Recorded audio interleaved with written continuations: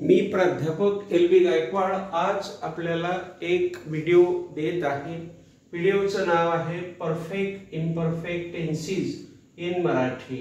म्हणजे मराठीमध्ये पूर्ण अपूर्ण काळ. आज आपण प्रेझेंट टेन्स पास्ट टेन्स आणि फ्युचर टेन्स बघणार आहोत.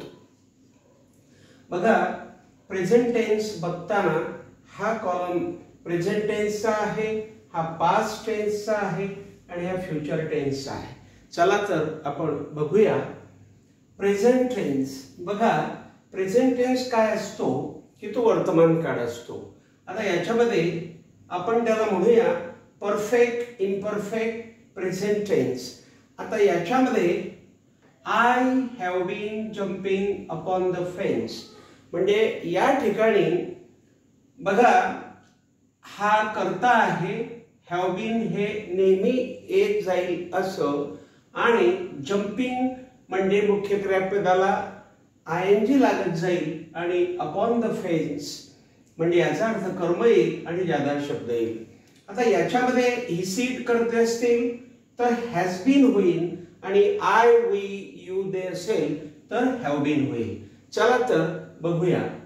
I have been jumping upon the fence म्हणजे आय मी हॅव बीन जम्पिंग उडी मारत आलेलो आहे अपॉन द फेन्स म्हणजे कुंपणावर.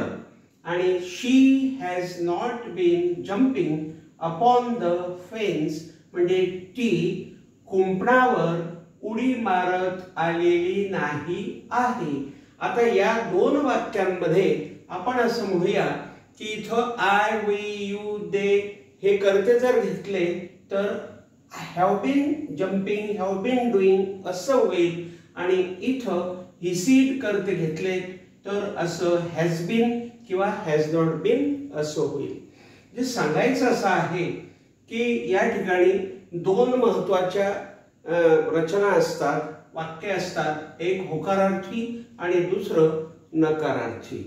तर हा सब्जेक्ट आहे हॅव बीन हे या ठिकाणी सहायकारी क्रियापद आहे जम्पिंग हे मुख्य क्रियापदाला आय एन आलेलं क्रियापद आहे आणि अपॉन द फेन्स हे ऑब्जेक्ट आहे आणि इथं जादाचा शब्द येतो आपण तो घेतलेला नाही. व्हिडिओ लांबेल म्हणून घेतलेला नाही. आता इथं she has not been jumping upon the fence हे नकारार्थी वाक्य आहे. हे होकारार्थी वाक्य आहे हे नकारार्थी वाक्य आहे.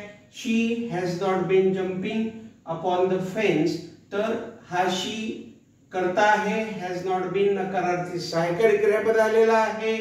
जम्पिंगला आय एन जी प्रत्यय लागलेला आहे मुख्य क्रियापदाला आणि अपॉन द फेन्स हे कर्म आहे. आणि इथं जादाचा शब्द येणार असतो आपण घेतलेला नाही. आता बघा या रचनेपासून तिसरी रचना होते आणि या दोन नंबरच्या नकारार्थी रचनेपासून एक चार नंबरची नकारार्थी रचना होते. तर पहिली रचना आहे होकारार्थी वाक्य दुसरं नकारार्थी वाक्य तिसरं होकारार्थी प्रश्न आणि चौथा नकारार्थी प्रश्न. असं सेम या सगळ्या काळांमध्ये येईल. म्हणजे पास्ट टेन्समध्ये सुद्धा असंच आहे आणि फ्युचर टेन्समध्ये सुद्धा असंच आहे. मी पुन्हा पुन्हा सांगणार नाही. आता लक्षात घ्या I have been jumping upon the fence म्हणजे मी कुंपणावर उडी मारत आलेलो आहे. म्हणजे क्रिया पूर्ण झालेली आहे आणि अपूर्ण पण आहे चालू पण आहे. She has not been jumping upon the fence म्हणजे कुंपणावर ती उडी मारत आलेली नाही आहे. म्हणजे इथं सुद्धा तिची क्रिया पूर्ण झालेली नाही आहे आणि उडी मारत आलेली नाही आहे. पण काही प्रमाणामध्ये आपण असं होकारार्थी घेतलं तर ती क्रिया काही प्रमाणात पूर्ण झालेली असते आणि काही प्रमाणामध्ये ती चालू असते. असा ह्या काळाचा भाग आहे. इथं वर्तमान काळात ती क्रिया चालू असते इथं भूतकाळात ती चालू असते. चालू होती असा अर्थ आहे समजा. आणि फ्युचर टेन्समध्ये ती चालू असेल आणि पूर्ण झालेली असेल असा अर्थ त्या ठिकाणी घेतला जातो. बघा आता I have been jumping upon the fence या वाक्यावरून तिसरी आपल्याला तिसरी रचना करता येईल. होकारार्थी प्रश्नार्थ ती आहे have I been jumping upon the fence हे बा हे have I been jumping upon the fence तर बघा हॅव आय बीन जम्पिंग म्हणजे मी उडी मारत आलेलो आहे का? अपॉन द फेन्स कुंपणावर? तर उत्तर येईल यस यस जर तो उडी मारत आलेला असेल तर उत्तर येईल yes yes I have been jumping upon the fence आणि तो जर उडी मारत आलेला नसेल तर उत्तर नकारार्थी. म्हणून बोलणारा कसं बोलेल? No I have not been jumping upon the fence आता या पहिल्या रचनेपासून एक तिसरी झाली आता या दुसरी पासून ही चौथी होणार. म्हणजे हे नकारार्थी आहे ही नकारार्थी होणार. बघा कशी होणार? बघा इकडे लक्ष द्या.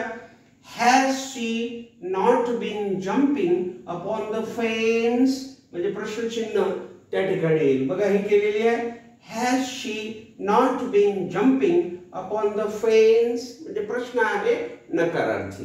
म्हणजे has she not been jumping upon the fence म्हणजे कुंभणावर ती उडी मारत आलेली नाही आहे का?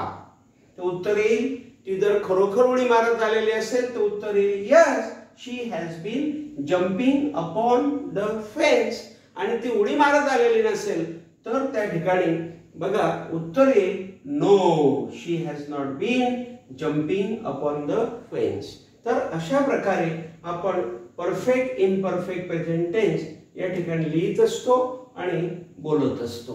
आता परफेक्ट इनपरफेक्ट पास्ट टेन्स आपल्याला अभ्यासायचा आहे.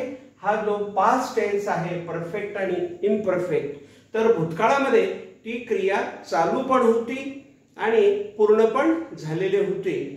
म्हणजे ती क्रिया तिथंच चालू होती आणि तिथंच ती आटोपलेली होती असा अर्थ आहे. बघा आपण बघूया.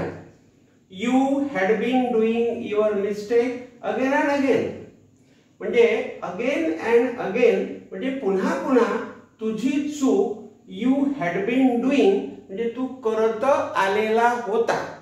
म्हणजे करत आलेला होता म्हणजे त्याची क्रिया ती सुरू पण होती आणि काही प्रमाणात ती भूतकाळामध्ये पूर्ण झालेली होती.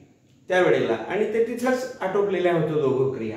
म्हणून you had been doing your mistake again and again म्हणजे तू पुन्हा पुन्हा तुझी चूक करत आलेला होता.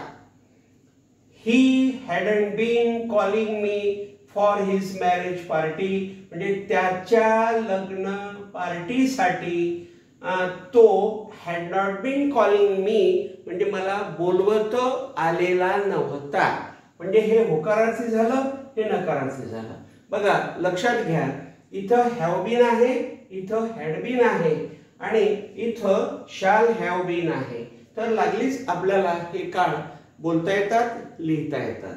म्हणून हॅव बीनचं हॅड बीन झालं का तो पास्ट टेन्स होऊन जातो.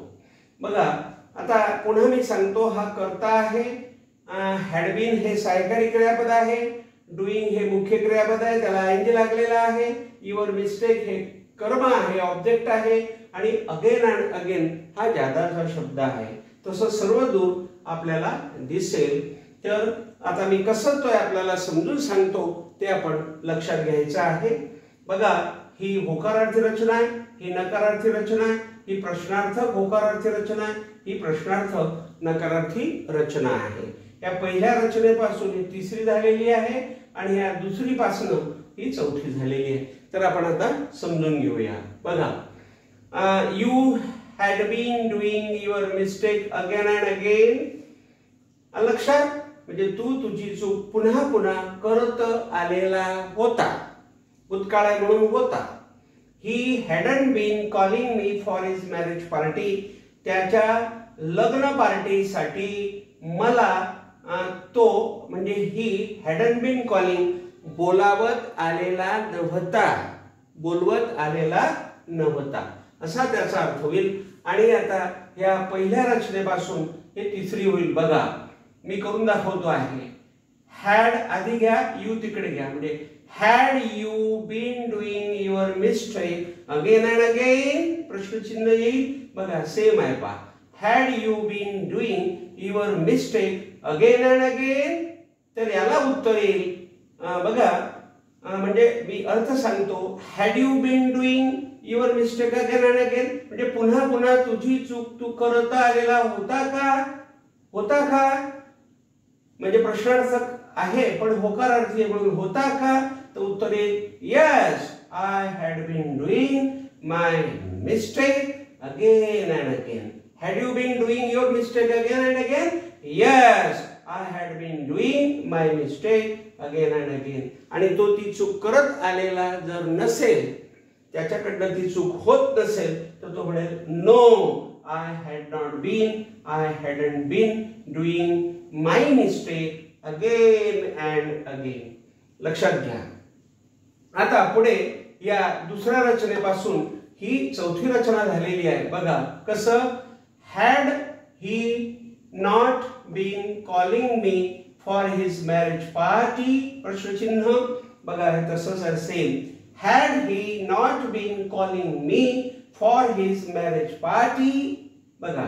म्हणजे had he not been calling म्हणजे तो बोलवत आलेला नव्हता का? मी मला फॉर हिज मॅरेज पार्टी त्याच्या लग्नाच्या पार्टीसाठी तर खरोखर तो बोलवत आलेला असेल तर उत्तर येईल yes he had been calling he had been calling me for his marriage party आणि जर तो उत्तर नो असेल म्हणजे खरंच ते तो बोलवत आलेला नसेल किंवा तो बोलवत आलेला नव्हता असं जर असेल तर मग त्या ठिकाणी आपल्याला नो मध्ये उत्तर द्यावं लागेल. म्हणजे यस म्हणजे नो मध्ये द्यावं लागेल. आपण येस मध्ये दिलं आता नो मध्ये द्यावं लागेल. No he had not been no he had not been calling me for his marriage party म्हणजे नाही तो त्याच्या लग्न पार्टीसाठी मला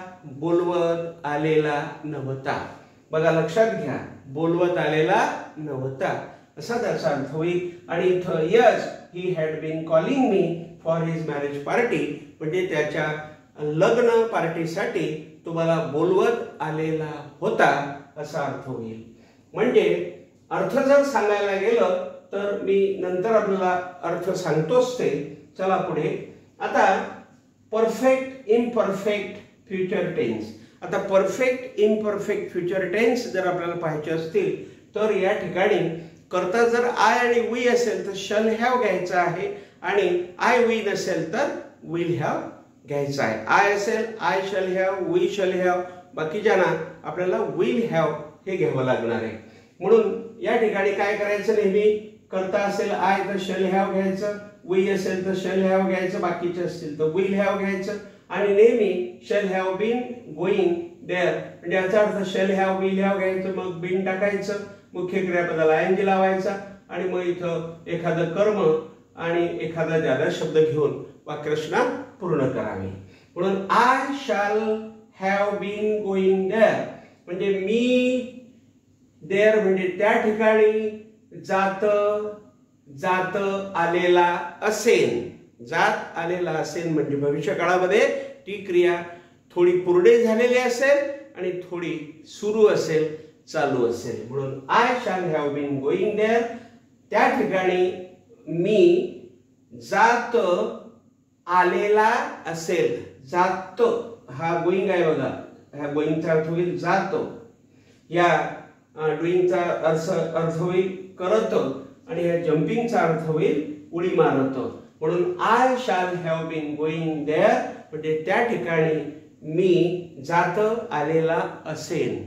आणि इथं होईल I shall not have been going there त्या ठिकाणी मी जात आलेला नसेल असा याचा अर्थ होईल. तर लक्षात घ्या ही पहिली रचना पॉझिटिव्ह ही दुसरी रचना निगेटिव्ह या पहिल्या रचनेपासून ही तिसरी होईल. आणि ह्या दुसरी पासून ही चौथी होईल. तर बघा कशी होईल मी करून दाखवत आहे. Shall I have been going there बघा हे आली. Shall I have been going there म्हणजे shall I have been going there त्या ठिकाणी मी जात आलेला असेन का? तर खरोखर जात आलेला असेल तर तू उत्तर देईल yes I shall have been going there मी तिथं जात आलेला असेल. आणि तो जर जात आलेला नसेल तर तो उत्तर देईल no I shall not have been going there मी तिथे जात आलेला नसेल. असं तो उत्तर देईल. आता ही जी रचना आहे I shall not have been going there हिच्यापासून ही चौथी रचना तयार होईल बघा मी करून दाखवत आहे. Shall I not have going going प्रश्न चिन्ह यायला पहा shall I not have going going प्रश्न चिन्ह तर shall I shall I not have been going there? म्हणजे त्या ठिकाणी मी जात आलेला नसेल का? तर खरोखर तो जात आलेला नसेल तर उत्तर येईल no I shall not I shan't have been going there. मी तिथे जात आलेला नसेल. आणि खरोखर तो तिथे जात आलेला असेल तर उत्तर येईल yes I shall have been going there त्या ठिकाणी मी जात आलेला असेल. तर आज आपण या ठिकाणी हा perfect imperfect present tense perfect imperfect past tense आणि परफेक्ट इम्परफेक्ट फ्युचर टेन्स आपण या ठिकाणी अभ्यासलेले आहेत. आता मी यांचा बिलकुल सारखेपणा आणि यात किती सोपं आहे ते समजून सांगतो बघा. बघा आय हॅव बीन जम्पिंग आता इथं काय हॅड बीन जम्पिंग आणि इथं काय आहे? शल हॅव बीन जम्पिंग झालं. आता इथं आय असेल वी असेल यू असेल दे असेल तर हॅव बीन करायचं. ही सीट असेल तर हॅज बीन करायचं. मग या सगळ्या रचना त्याप्रमाणे कराव्या. आता इथं कोणताही करता असो had been doing had been doing had been going had been jumping असं करावं. कोणत्या करता असो हॅड बीनच येईल त्या ठिकाणी. आणि इथं आय असेल वी असेल तर शल हॅव करायचं. आणि आय वी नसतील तर विल हॅव करायचं बाकीच्या कर्त्यांसाठी. तर हे अशा प्रकारे करावं.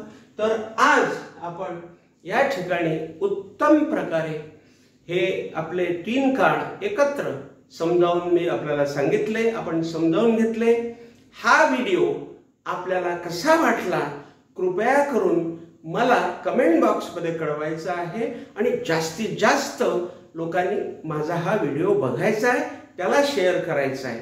माझ्या लक्षात आलेलं आहे की आपले सगळे जे सबस्क्रायबर्स आहेत त्यांनी आपलं चॅनल सबस्क्राईब केलेलं आहे मायबापाने परंतु नोटिफिकेशन आल्यानंतर ते बघत नाही आणि त्यामुळे थोडा माझा वाच टाईम होत नाही आहे म्हणून सगळ्या मायबापांना सगळ्या माझ्या व्ह्युअर्स लोकांना ज्यांनी ज्यांनी माझे हे जे माझं चॅनल आहे माझे व्हिडिओज आहे ते सबस्क्राईब केलेले आहे किंवा ते माझे माझ्या चॅनलचे जे खातेदार झालेले आहेत एक प्रकारे त्यांनी कृपया करून माझे व्हिडिओ बघावेत. आणि माझा वाच टाईम वाढवून द्यावा एवढं मला विनंती आहे. जास्तीत जास्त शेअर करावे हे विनंती आहे. एवढं बोलून थांबतो. Thank you thank you very much